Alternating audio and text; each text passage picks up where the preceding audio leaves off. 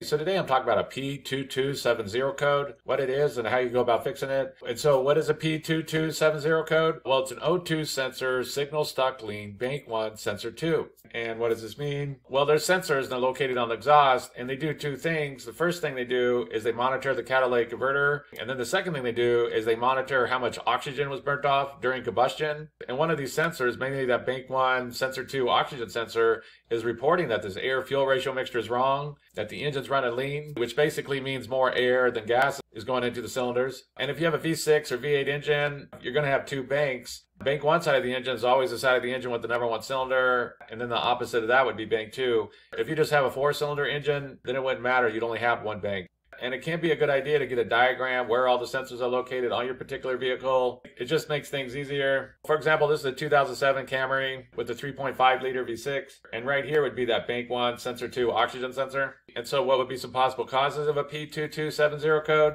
Well, the first thing that could cause this is that bank one sensor two oxygen sensor has just gone bad and it's just reporting bad information back to the computer. And so the computer just thinks there's a problem when there isn't. That sensor's just failed. So the first thing to do is go test that oxygen sensor and check to see if it's good or not. Keep in mind that if there's anything wrong with the wiring going to that sensor, open, short, bad connection, is going to cause the same symptoms as a bad sensor. So that can also be tested. Another thing that could cause this is that there's some kind of exhaust leak going on, mainly on that bank one. And basically, if outside air can get inside of the exhaust, it can throw that sensor off. It'll be reading that there's more oxygen than there should be, and it can cause problems. So the next thing on the list is going to be an exhaust leak.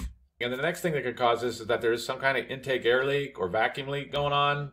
And basically all the air going into the engine should be going through the air intake box into the throttle body. And if there's any air getting into the engine going around the throttle body, then this can cause problems and can throw the sensors off, different things like this. And so this would mean something like a bad hose, a bad gasket, something like that. But somehow the air is getting in around the throttle body. But the next thing on the list is going to be an intake air leak. And when this happens, it's going to cause a lean running condition, which basically means there's more air going into the cylinders than gas. But usually when that happens, you're going to get other codes. So if you are getting other codes, be sure to pay attention to that. And so that's basically it. I just wanted to give a basic overview of how you go about fixing a vehicle with the P2270 code. If you have anything to add, please comment down below. If you have any questions, ask me and I'll try to answer them. If this video helps you, please click like, please click subscribe, and have a good day.